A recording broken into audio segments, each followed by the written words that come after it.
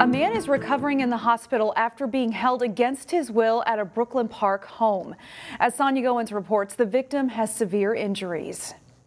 Brooklyn Park police were called to the 6600 block of Ronald Place around 3 Tuesday afternoon. When they arrived here on the scene, they found a man who was bound with his hands tied behind his back, pleading for help. Police are still trying to figure out exactly what happened at the home.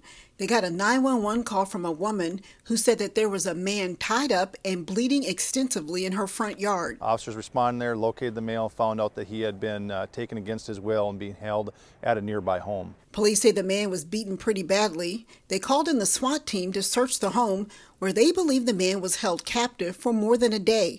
A SWAT team was called and ultimately made entry, did not locate anyone in the home but uh, they did locate evidence of the person being held against their will for a significant period of time. This is an ongoing investigation. No one has been arrested. If you have any information, call Brooklyn Park Police. In Brooklyn Park, Sonia Goins, CCX News. A man who crashed into a retaining wall in Brooklyn Center while driving drunk and assaulted a state trooper learned his punishment this week. According to court records, Matthew Cleve crashed on Highway 252 in Brooklyn Center. When a state trooper responded, Cleve tried to leave the scene, punched the trooper in the face, and then tried to take his gun. A Good Samaritan actually helped intervene, allowing the trooper to make the arrest. Cleve received three years probation for the crime, which includes random drug testing and abstaining from any alcohol.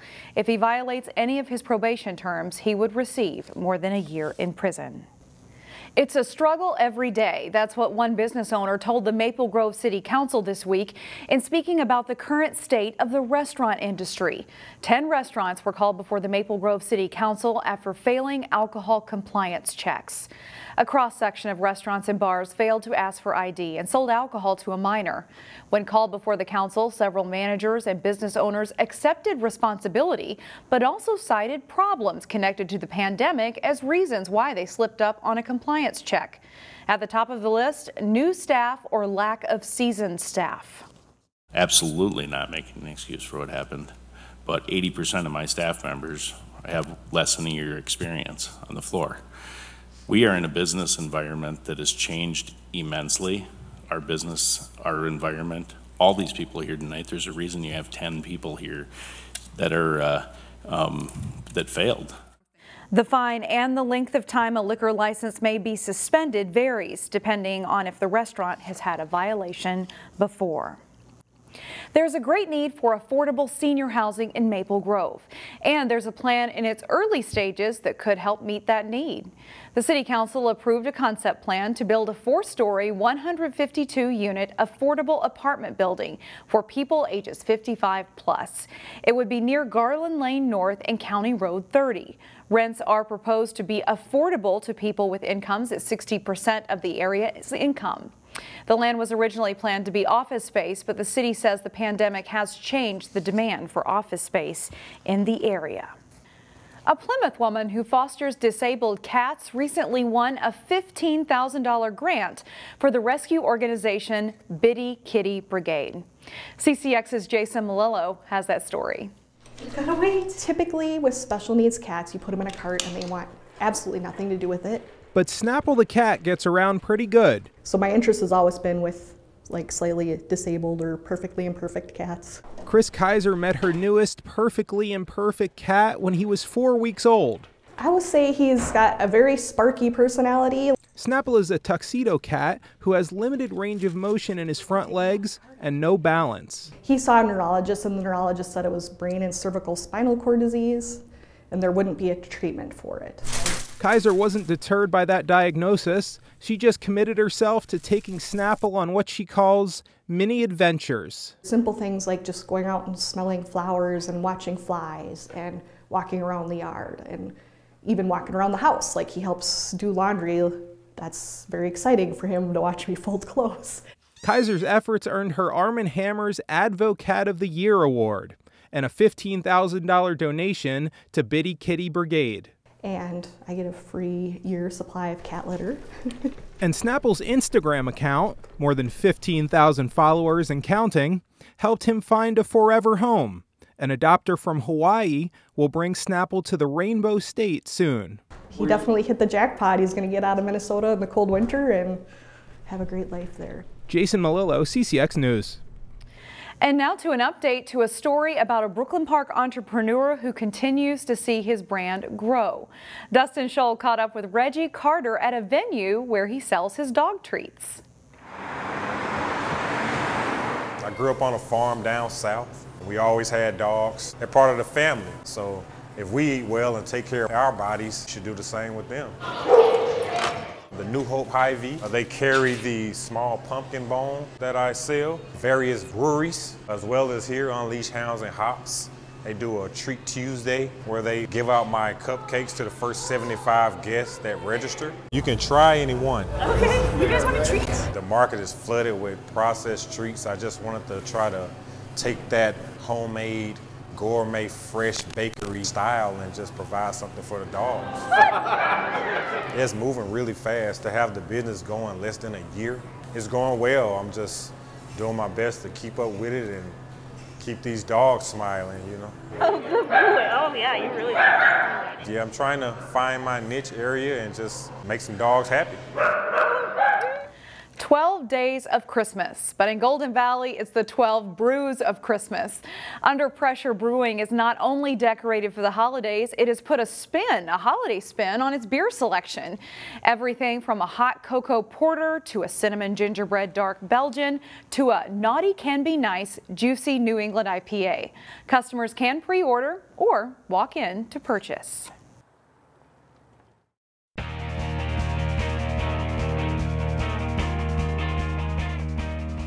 Both Champlin Park and Wayzata reached the state Class 4A boys basketball tournament last season, with the Trojans winning it all. Those two teams met up in a non-conference game Tuesday night. The Trojans looking to improve to 4 and 2 on the season, facing the 0 and 2 Rebels. A good start for Champlin Park. Ethan Lukandwa with a dribble drive to the basket for two of his 10 points. The Rebels jump out to an 8-0 lead. Good ball movement here results in an open three look for Luke Graff. He hits, and Champlin Park is up 17 10.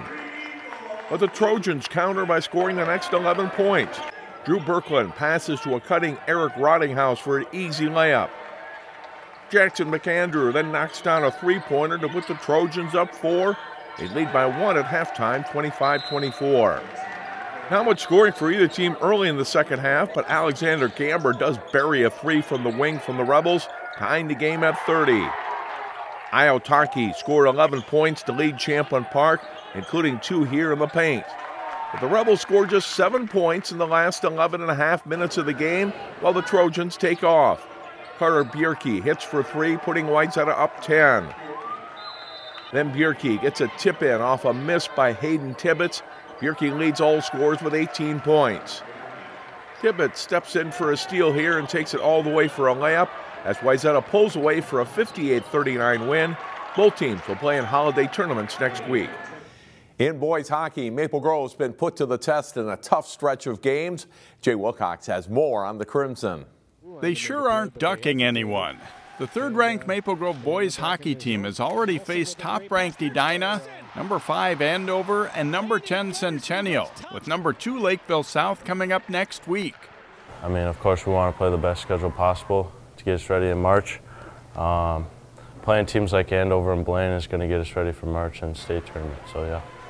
To be the best, you got to beat the best, so that good stretch of games is kind of going to get us going a little bit. and kind of get us ready for playoffs a little bit because once playoffs hit, there's going to be no easy games, and we're going to have to be able to know how to win those type of games. So yeah, we we've kind of hit the gauntlet now. We're going to have Andover, Lakeville South, and Benilde coming up, and and St. Michael, and then Centennial after that. So. Uh, I love our competition. I, it's, it's only going to make the boys better. Maple Grove entered the holiday break with a 5 2 1 record. They had to replace a strong senior group from last season's outstanding squad. Though it hasn't been all smooth sailing, overall it's been a pretty good start. We obviously got some things to change. I mean, I think we're playing pretty well. But obviously those small little things that we need to change is going to help us be a better team. Obviously we graduated a lot of seniors last year and, and uh, that's, no matter what, that's a tough void to fill. So we're, we're we're a little bit uh, young, but yet we're, we, there's, there's players that have been in the situations and have played at that high level. And, and uh, So I, I think it's just a little bit of trying to get used to the team. In the week between Christmas and New Year's, the Crimson will skate at the holiday tournament hosted by Benilde at St. Louis Park Arena, facing three good teams in a row, starting with Lakeville South.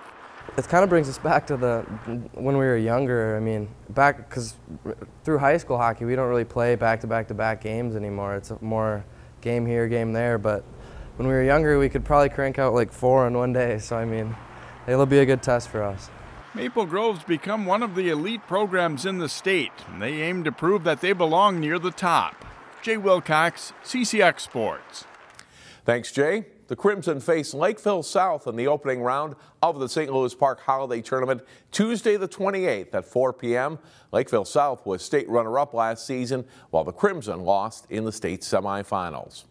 That's all for sports. I'm John Jacobson, and for all of us at CCX, have a Merry Christmas. Find more prep sports games and highlights at ccxmedia.org and follow us on social media.